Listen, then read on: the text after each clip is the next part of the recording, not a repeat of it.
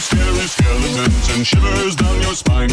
Shrieking skulls will shock your soul, seal your doom tonight.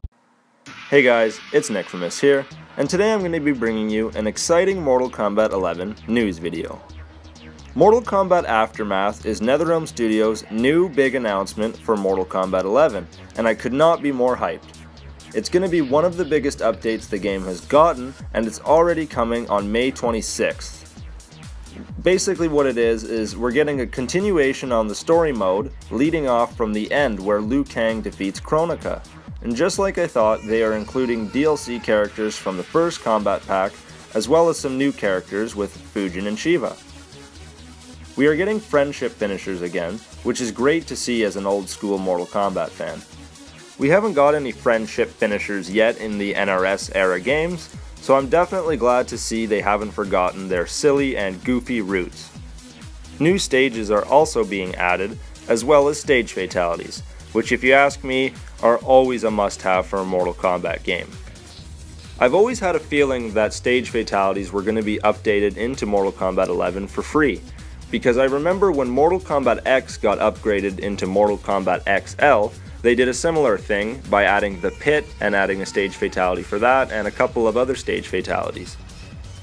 So along with a bunch of new skins, story content, finishers, and stages, we're also confirmed to be getting three new playable characters, that being Fujin, Sheeva, and Robocop. I'm really looking forward to Fujin and Sheeva. Fujin deserves this so much. He is one of the best 3D era characters, and it was just a plain and simple tease to see him in the Mortal Kombat X story mode, but not playable. And Sheeva has always been my favorite Mortal Kombat female, as I always love being able to play as a Shokan in a game, and this makes her the first playable Shokan in Mortal Kombat 11. She was prominent in the story mode, so I only think it's fair that she's made playable as well. But overall, I am most excited for Robocop. If you follow my videos, you would know I have been talking about Robocop since the game was announced, and the fact he's coming to the game is actually a dream come true to me.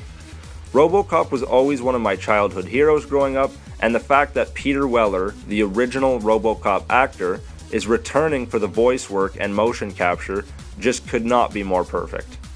NetherRealm Studios shows a lot of passion with their guests, so I can't wait to see all their awesome effort that they put into Robocop.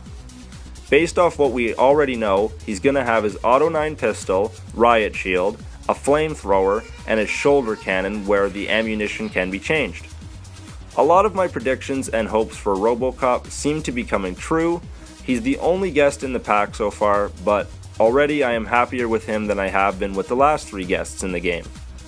I haven't been this hyped for a character since Leatherface was announced in Mortal Kombat X.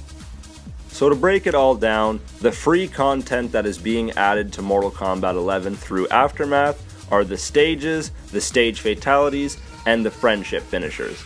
If you want the characters, the skins, and the new story mode, you're gonna have to pay $40.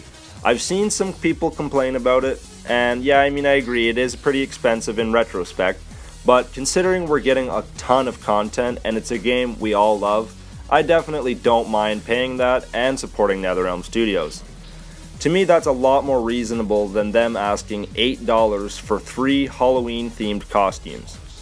And I think that sums it up overall for this update. I'm really excited to see all the characters' friendships, the stage fatalities, the new characters, of course, like I mentioned. Aw, this is just awesome. I'm really happy to see that Mortal Kombat 11 is not over yet. Let me know in the comments below how you guys feel about the Aftermath update and all of this new content. Thanks for watching guys, as always this has been Nickfamous, see you later.